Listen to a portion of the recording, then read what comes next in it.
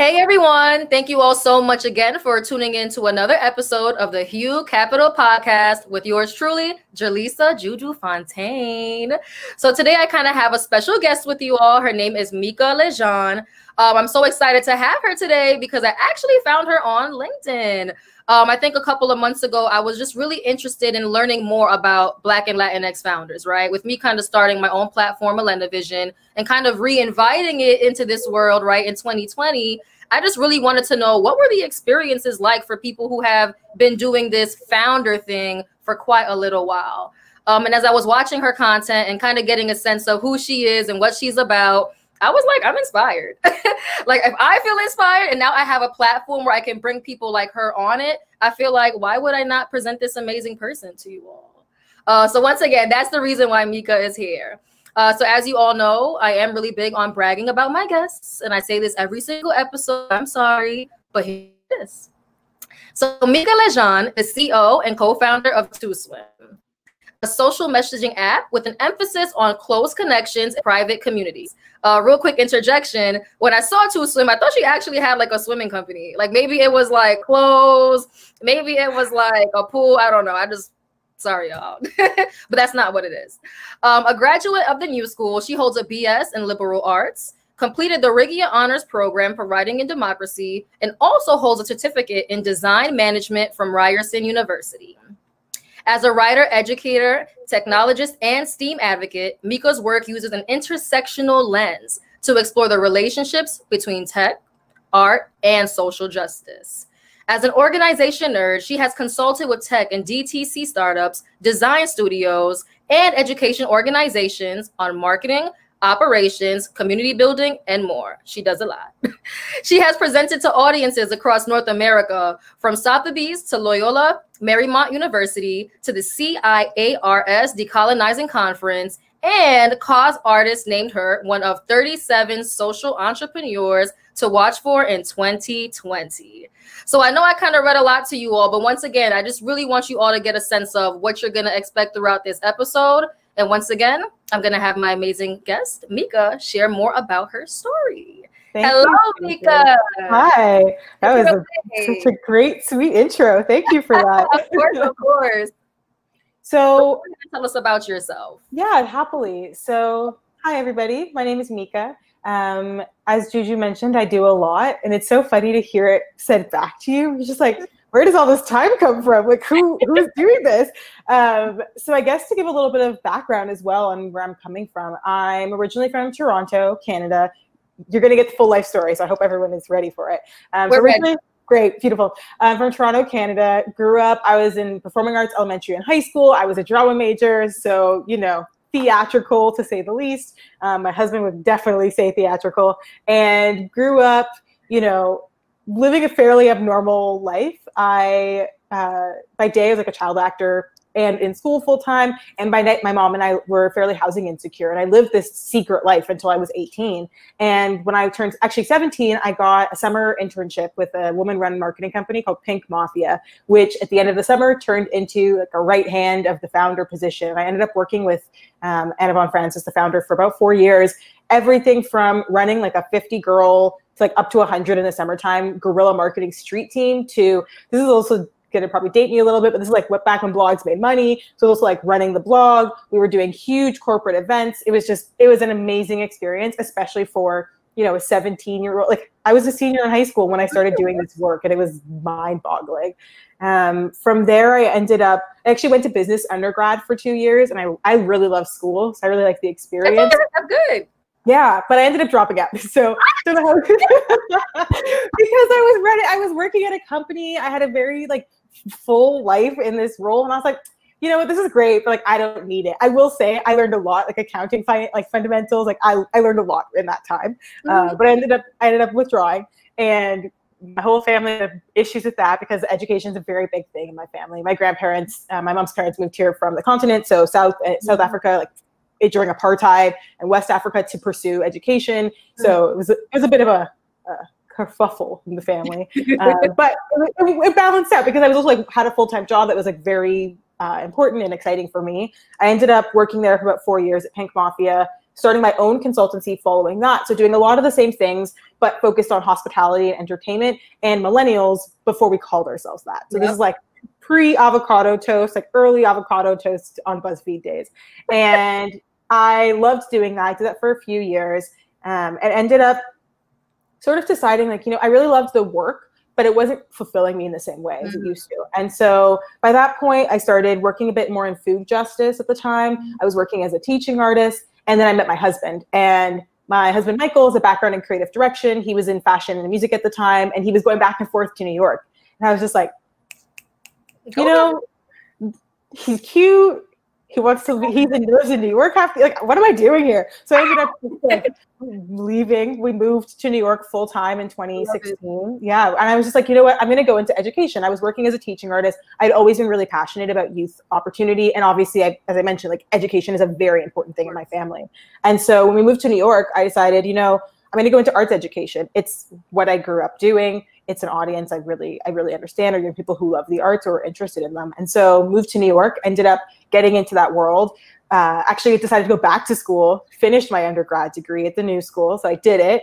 And I did a self design degree with the working title Intersectional Pedagogy through the Arts and Social Engagement. So, what that means, yeah, so like, what is that? It is looking at how we gain and impart forms of knowledge, different ways of teaching through intersectional lenses. So, race, class, gender, sexuality, ability, etc. Um, and then on top of that, thinking about how the arts and community organizing impacts that. And I loved that, loved that experience. I went to the New School in Manhattan. And while there, I also ended up um, receiving a fellowship one summer, my first year there, a two-time role, and I ended up becoming the director of education at this arts organization. And so I was there for two and a half years, running all of their youth programs, really focused on teens that I'm excited about, you know, working with young folks like Black Black youth, Latinx youth, like just really underserved communities, specifically in East Flatbush, um, who, who need better opportunities and more support. And loved it so much. Still in touch with a lot of my students. I'm on the advisory board for the organization still. But in parallel to that, my husband and I decided, you know what, we're building all of these ideas together. We've been ideating on tech solutions since we first met in 2015. And we were like, okay, we had this, he pitched me like on our third date about a social platform. So I was like, I like this guy. Like he, Ooh, I like him like, he knows, like, we're like, right. exactly, exactly. And after two years of like talking about ideas, we said, you know what, let's do it. And so we were really lucky to just have like timing wise with me getting a new job he ended up being able to leave his job and ended up teaching himself to code that year and so he taught himself to code built the first app yeah i know bonkers built the first app and was video to video we launched right around the time tiktok started putting like millions of hundreds of millions of dollars into Facebook ads. So we decided, you know what, maybe timing isn't great, but we learned so much from the experience, especially around who our super users were, and more importantly, what they wanted. And something we've really mm-hmm. noticed, and something that we care most about, is that for young people, and when I say young people, I mean that very broadly. Like you could say Gen Z, you could say young millennial, like however you want to categorize it. Michael and I really focused on self expression and connection and how do we create more opportunities for that. And I think that a lot of the tools that we're given, whether that's a social app, whether that's, you know, whatever you want to call in that category, is just like they're not really focused on the people, they're focused on the product. And we're very much the opposite. So Michael's design strategy is very human centered. He really thinks about building in a really different way. And so we built um, Swim out of the learnings from that first product and launched Swim the start of this year, so top of 2020. We have an amazing team of humans working with us. Uh, actually, one of our team members, Michael Michael Counter, not my partner and co-founder Michael, he and I actually met on LinkedIn as well, and hey. now he's like, full, like, fully on our team. So LinkedIn has like been a, it's been a good year on LinkedIn. I love um, it. Yeah, but so I guess high level to give folks a, a, little bit more. TwoSwim is really focused on, as you mentioned, like close connections in private communities, but we're also invite only for um, groups, creators, and brands that are Black, Indigenous, and POC, LGBTQIA plus, or women centric. So really thinking about more nuance of just like actually how do we create safe spaces for these folks, and then of mm. course allies are allowed to join. But I really think that like allyship an invitation is also an invitation to really do the work, not yes. just present as an ally. Um, and so that's sort of where we are now. We have a youth program that's wrapping up currently and has been amazing and so much work, but it's been great uh, called New Community Builders. And we're just, we have a lot, a lot coming up the rest of the year. Honestly, I'm so proud of you. And it's so funny because, like I said before, I found you on LinkedIn. I was witnessing your journey. And it's so cool because it's like as you're filling in the gaps while telling your story on this podcast, I feel like I'm starting to even learn way more about you. And that's the reason why these things are so beautiful, right? It's like mm-hmm. you're bringing each other together to really get a sense of what's missing in the world and how are each of us actually solving those problems. So I really do want to commend you. What I do want to do, however, is I want to start off by talking about what does it even mean to create a startup, right? Mm-hmm. So you kind of discussed the fact that your partner was kind of, you know, working, doing the creative direction. He stopped it, started coding, and created the first product, right? Now, you mentioned particularly about stopping because of timing. What other problems were you experiencing as newfound founders? Mm-hmm.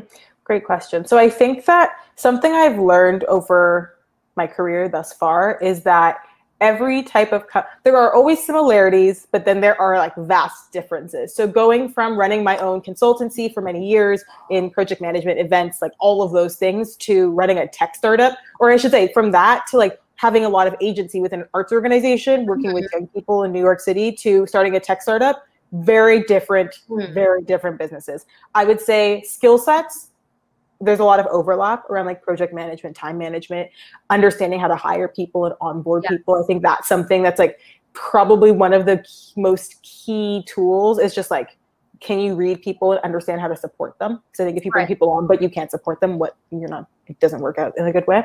Mm-hmm. Um, but I think that something that I've really learned, some of those difficult, difficult, bigger difficulties that came up are around probably understanding funding and how yeah. that works depending on your business model and depending on what industry you're in. I think it's so different, even just within like what what's called consumer tech, which is what vertical we work right. in. Um, like so different from you know a company that creates tools for co- other companies, like very right. different. Um, I think the second thing that is something that we i don't know if i would call it a difficulty that's uh, unique to us i think it's a difficulty anyone has but just like figuring out who your user is um, right. and, and also putting into place practices that enable you to do that. And so, yeah. what I mean by that is you can, there's a couple different ways. You could throw a bunch of things at the wall, see what sticks, which is like mm-hmm. one model.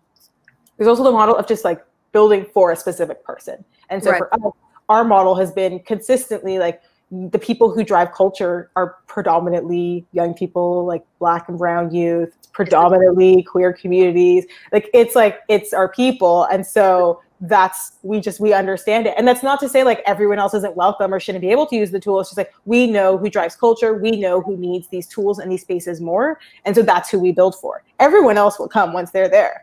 Right. so that's something as well i think is about thinking about uh, user acquisition or distribution, however you want to word that, in mm-hmm. a way that's that is truly unique, um, is something that we spend a lot of time thinking about.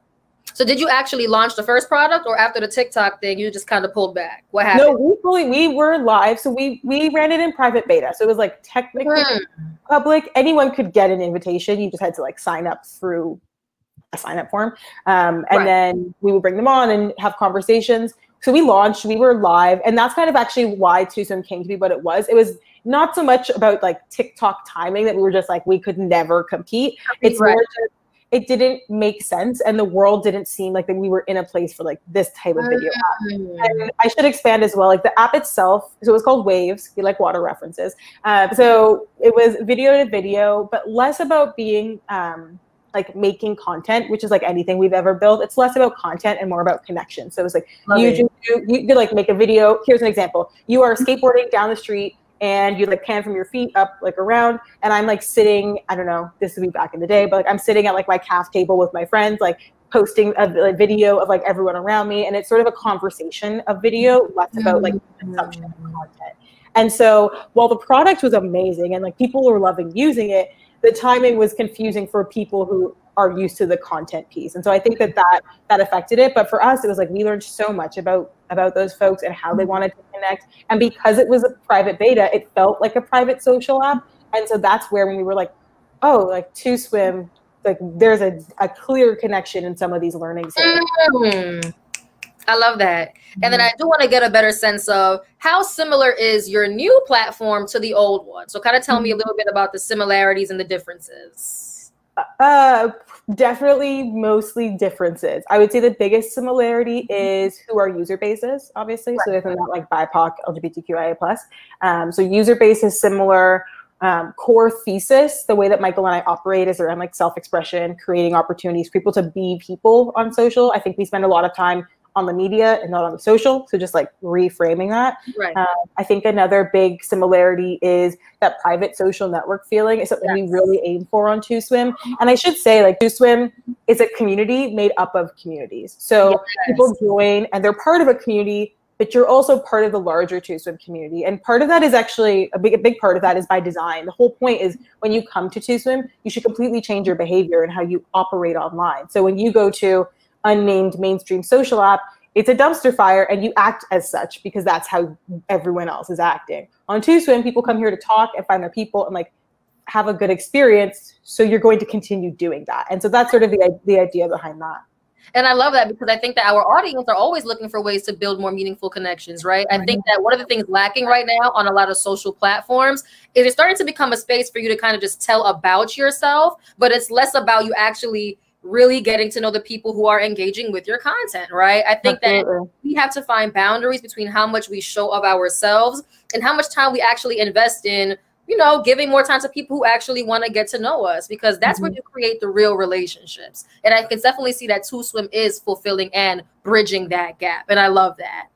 Now, what I do want to kind of transition to is team, right? Mm-hmm. I feel like for a lot of people, when they're um, working on startups, for them, it may be just themselves and a partner. And the reality is, two people can't do everything for a product, right? Mm-hmm. So I want you to kind of talk about your journey of starting Two Swim now and think about, you know, who exactly was on your founding team, right? Who were mm-hmm. the first few people that you brought on to help you put this together? Absolutely. So, well, my I, I lucked out because I married my co-founder before right. he was my co-founder. So highly recommend finding your life partner and then starting a company together. I will say the one reason, one of the reasons that Michael and I work so well together is that we have completely complementary skill sets. So Good. he is pure product design and like tech tech building and i am like pure operations people like building partnerships that's my strength so i would say the number one thing is like finding a co-founder who complements your skill sets yes. Um, because if you have two people who can do the same thing who's doing everything else? Exactly. Doesn't make sense. Um, so i would say that's a great thought to have. Um, something else so our earliest team member uh, was sanaya jones who i adore. And sanaya interned with me at the arts organization for a year and then when I left the organization and went full time on Two Swim, she came with me. And so she transitioned into the tech world. And Sanaya is a writer and an artist and just brilliant. And um, so I was able to get Sanaya. I locked her in. We're actually about to have our like two year work anniversary in like two weeks from now. Uh, and she's just the best. So that was something else too. It's just like the people around me, like Sanaya did, had never worked in a tech startup before, but I knew she had skills. I knew she was like willing to figure it out with us. And so we brought her in because it just made sense. Um, as I mentioned before, too, like bringing in Michael Counter, who runs our brand partnerships. Michael and I connected because I posted something on LinkedIn. He comment commented. It wasn't even a, like we're like we weren't connected at that point, and then he commented, and I looked at him and I was like, this person seems really interesting. Like I started researching. We ended up having a call, and we were just like, oh, we are each other's people. Like we need to work together. Yeah. And I think that something you mentioned, Juju, which like is crystallizing as we're talking, is I think one of the things about social media and like creators and like how social could be used to build you know finding a team is that it's about network versus community yes. and so when you think about people as nodes in your network it's very deep this is a dramatic term it's not literally dehumanizing but it's kind of just like they're just like boxes to check not yes. people to check in with exactly and i think that that's something a really big shift to be made of just like your team comes from your community. It might be people who you haven't met before, but they become part of your community. And I think that that that that's a huge difference there on how that how that happened for us. I love that. Oh my God. Honestly, I'm so sunk in because I'm like, yes, yes, yes. Yeah. um, so what I also want to talk about is so I think one of the most I, I think the most realistic reason as to why people appreciate or are really big on solopreneurship is because they actually feel like they don't want to deal with people. They actually mm-hmm. don't want the responsibility of leading a team. And I think we all realize that there are beauties and there are cons to being responsible for a group of people, right? Mm-hmm. So what, what I want you to talk about is, you know, what are some struggles that a founder can have with their founding team? right? And how are you kind of actively always working towards solving those communication or whatever it is type problems? Mm-hmm. So I think the biggest difficulty of having a team period is that one or at least this is my opinion it's like one should be always coaching whether yeah. that's you know doesn't mean that there's people in your team who need coaching some people might be able to coach you so i think it's just this like exchange of understanding that mm-hmm. uh, and really one can you can only coach someone when you understand yourself or at yeah. least like explain why you're suggesting certain things right. and so i think there's a piece of like personal development that is tied to the professional development of others and so the biggest challenge i would argue is really understanding how you think about things and why you think about things that way so that you can teach them to other people so that they can a have those abilities and then that's fewer decisions that you have to make that they could do on the team's behalf but it also means that when you're giving advice or when you're coaching people on like you know here's how we should manage this new team of interns or how we should think about decision making as a company there's an underlying understanding of the why and at least personally i'm very purpose driven and why driven so yes. that will be my my will always be my answer but i think that explaining that why and under having an understanding of that for yourself is actually the most difficult piece because you need to be able to teach it to other people. Mm-hmm. i love it. Thank you for that. And um, i want to get a better sense of so for example i know when people come into a job interview right it's like hey, like what was your biggest failure and how did you kind of overcome it, right? So we're going to get away from the job part, right? We're going to focus more on the business part.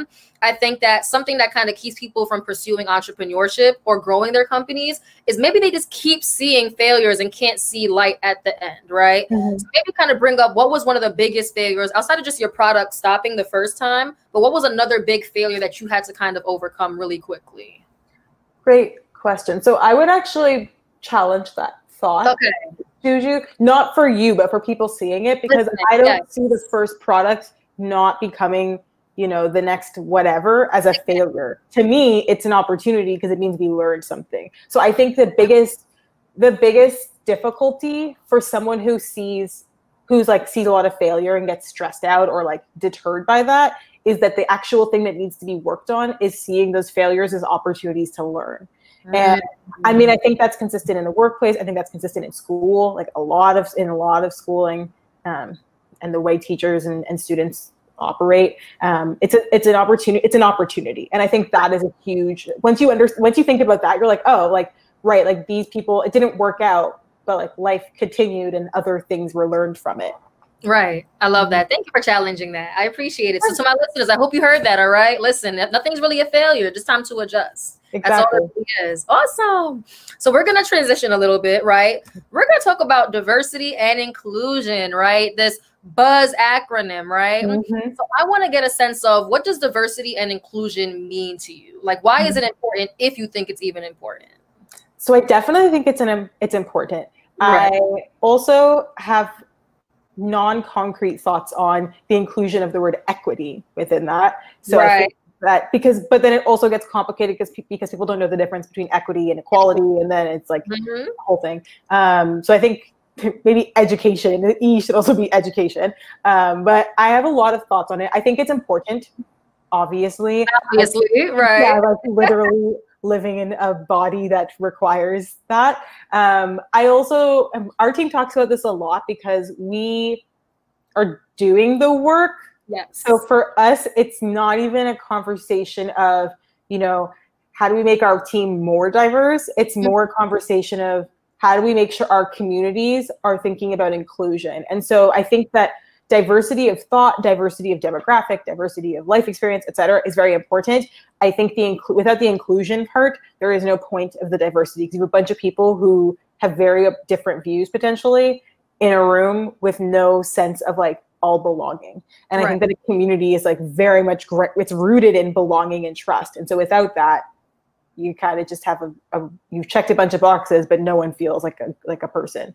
Um, exactly yeah so those are that's my thought on that love it and i actually want to take a little throwback right mm-hmm. so for example the reason why i presented that question is because i think you are the epitome of diversity and inclusion i think that everything about what you're doing now and everything that you've explained that you've done in the past is completely representative of this theme right mm-hmm.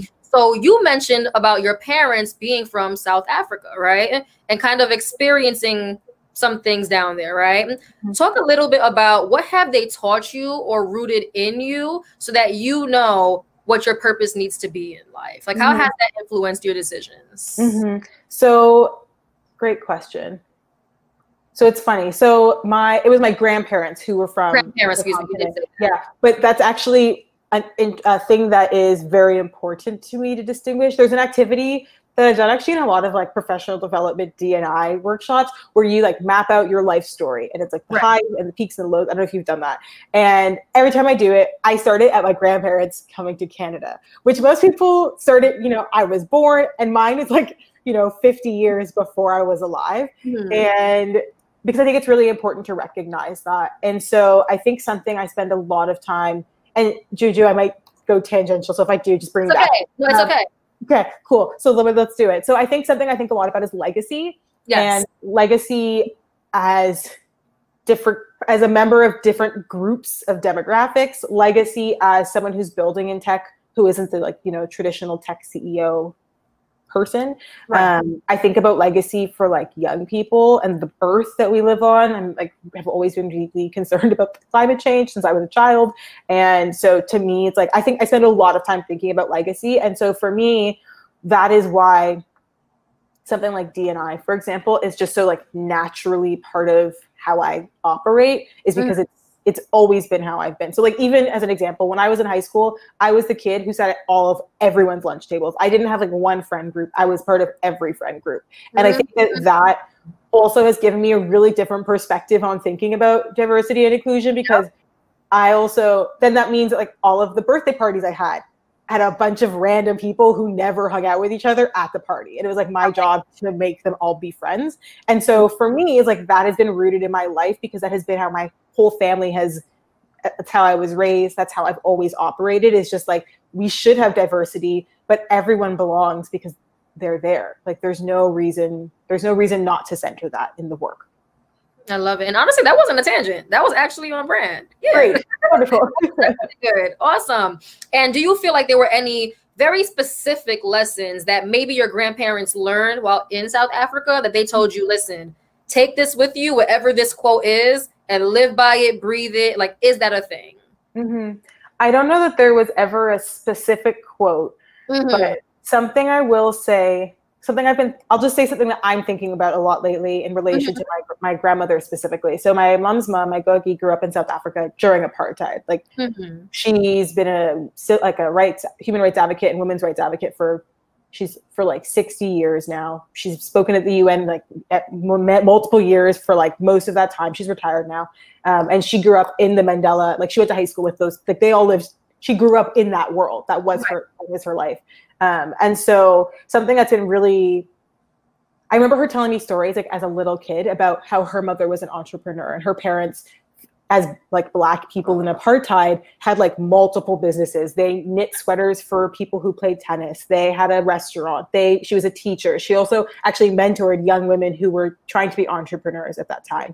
And my googie used to tell me these stories as a kid and i was like was little. So i wasn't really like computing it. And then you know growing up with my grandmother she's just like a powerhouse. She used to be like she goes to the UN every year and she like had a store and she's like a a, a, a, a women's rights advocate within the in Canada as well. She lives in Winnipeg, and so talking to my googie about understanding this idea of you can't be what you can't see, which I Right. think we, we hear this saying a lot now more recently. And I'm not sure like where where this started popping up, which I think it's important to talk about. But mm-hmm. something I'm thinking a lot about again that legacy piece is if you can't be what you can't see, but there is no one around you doing it, you have to see yourself in that place Yes. or else it, you won't make it there or else it'll be at least very least it'll be like really difficult and a slog to get to that point so if you can't be what you can't see you have to see yourself in that role um, I think- somebody? Oh, go ahead. Keep going. no i'm just gonna say that's something i'm spending a lot of time thinking about lately And I kind of like how you mentioned that because it brings me back to the thought about when people say if you don't write it down, it's not reality. So are you also Mhm. a believer in that that you should draw out or write out what you want to be or what kind of oh want to achieve?